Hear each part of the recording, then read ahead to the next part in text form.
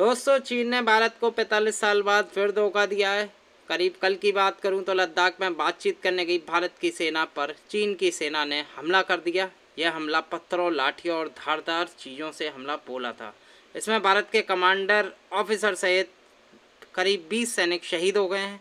तीन घंटे चली यह झड़प दुनिया की दो एटमी ताकतों के बीच लद्दाख में चौदह हज़ार फीट ऊँची गलवान वैली में हुई थी। उसी गलवान वैली में जहाँ उन्नीस सौ बासठ की जंग में तैंतीस भारतीयों की जान गई थी, भारत ने चीन की तरफ़ हुई बातचीत इंटरसेप्ट की है। इसके मुताबिक चीन के तैतालीस सैनिक हताहत होने की खबर भी आई है, लेकिन चीन ने यह नहीं कबूला है। बात करूँ मैं फ्रेंड, हिमाचल प्रदेश के लाहौल स्पीति और किन्नौर में भी, किन्नौर ज़िले में भी अलर्ट जारी कर दिए हैं, क्योंकि फ्रेंड, इन जिलों की सीमाएँ चीन से लगती हैं। बात करूँ, इस कवायद का मकसद स्थानीय लोगों को खतरे से बचाना और खुफिया जानकारी जुटाना है। पुलिस ने कहा है कि लोगों की हिफाजत के लिए तमाम ज़रूरी कदम उठाए जाएँगे। तो 45 साल पहले चीन ने भी ऐसा ही धोखा दिया था। 20 अक्टूबर उन्नीस सौ पचहत्तर को अरुणाचल प्रदेश के तुलंगला में चीन ने असम राइफल की पेट्रोलिंग पार्टी पर धोखे से एम्बुश लगाकर हमला किया था, जिसमें भारत के चार जवान शहीद हुए थे।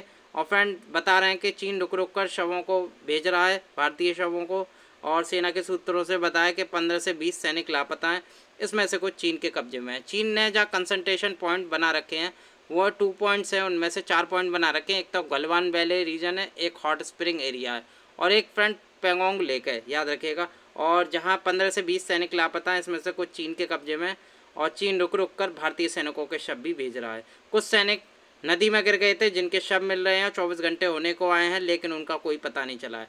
लाइन ऑफ़ एक्चुअल कंट्रोल पर चीन के हेलीकॉप्टर का मूवमेंट भी बढ़ गया है। वहीं अपनी सेना के हताहतों को भी एयरलिफ्ट किया जा रहा है। तो चीन की तरफ़ से आई एक खबर है जिसमें धमकाने वाले अंदाज में आ गया, चीन कहा भारत एक तरफा कार्रवाई ना करे, नहीं तो मुश्किल बढ़ेंगी।